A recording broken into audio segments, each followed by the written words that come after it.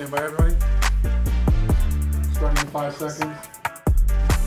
Welcome in, Monica McNutt, sitting with some champs. I was gonna say ballers because that's my sport, but we've got multiple sports represented. Madison Packer, Sue Bird, Ali Krieger. Guys, women's sports is evolving on the biggest stage possible, and I think we'd be remiss if we didn't acknowledge the shifts in the college landscapes. So I wanna start with NIL. How much do you think that that has changed, Sue, the opportunity, in particular in women's college basketball? Yeah, it's um, it'll be looked at as a game changer, a complete game changer. Um, I think at times there's been a disconnect between your college career and then when you turn pro and you have, you know, a WNBA career, whether it's in media, investment, fan bases, like sometimes it's like people don't continue to follow us. So I think what's beautiful about the NIL is you're going to be able to build um, a following, but you're going to have brands that are supporting you. And now those brands who follow you freshman, sophomore, junior, senior year, they're just going to stay with you into the pro game. And so I think that's going to be a connector because, like I said, there has been a disconnect, and that connection is really important to growing the professional ranks. And as a kid, I mean, give me that money. Listen, it's pretty cool. Like, you know, per diem's all right, and the lunch halls is yes, cool, yes. but you know, Yeah. you get to up your game a little bit. Yeah, yeah, yeah. Yeah. Ali, women's soccer has kind of been one of the more notable women's sports for, Mm-hmm. in terms of all the fights that you guys have been involved in, the Olympic teams, the World Cup teams. You guys have won at a high level. But when you look at NIL impacting women in soccer earlier in their career, what maybe concerns do you have?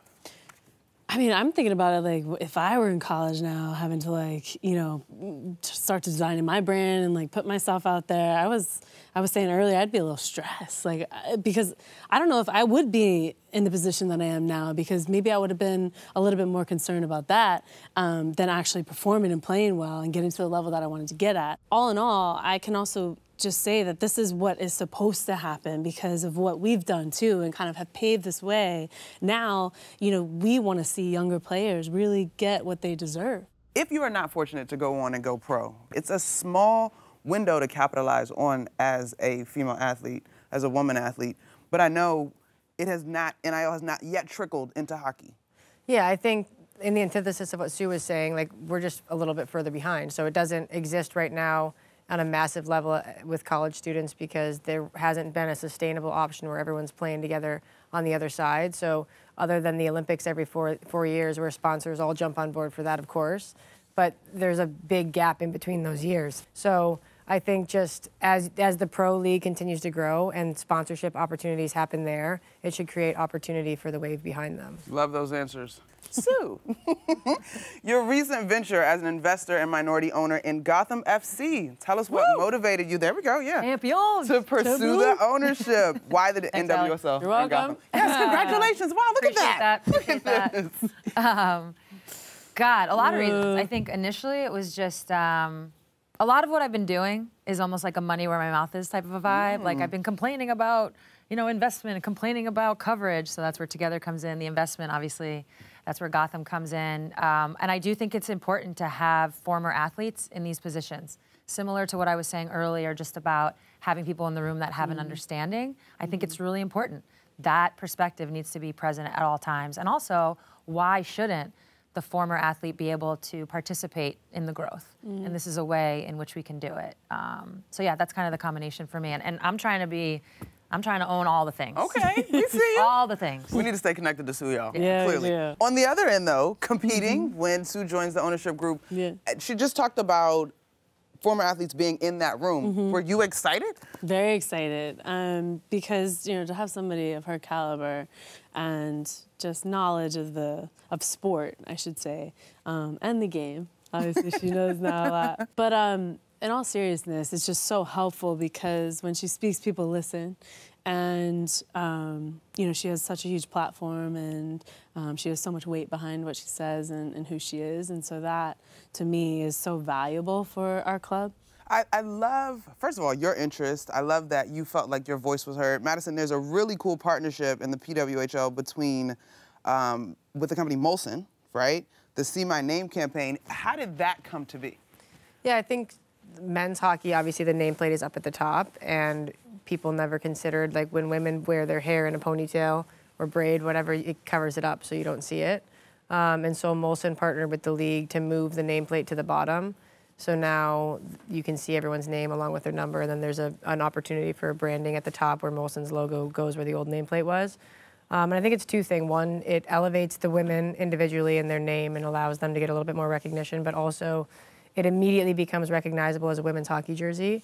Um, and so that's just a cool, good marketing play and allows us to separate ourselves a little bit. That's I, I would have never thought about that. Like, were you energized when you heard about this partnership, or like, how did it hit?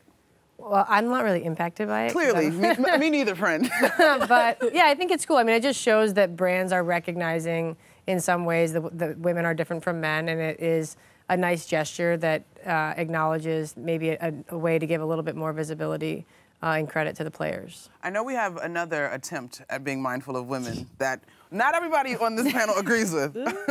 so, uh, the NWSL this, this season is deciding to get rid of white shorts because, we'll put it uh, plainly for folks that might not be comfortable, the ability to give birth to children, right? Um, and I, I will say, as we had gray uniforms for practice uniforms, and I hated the gray practice uniforms that time of the month. It was very stressful. You don't feel the same way, though, Ali. No, I mean I would have hated the gray because I sweat a lot, and that would have not been a good look. But um, I think white is sharp. I think I don't. I I support both, right? Like I support women who feel more confident wearing, you know, black or any other color that would potentially hide that if there were an accident or something to happen.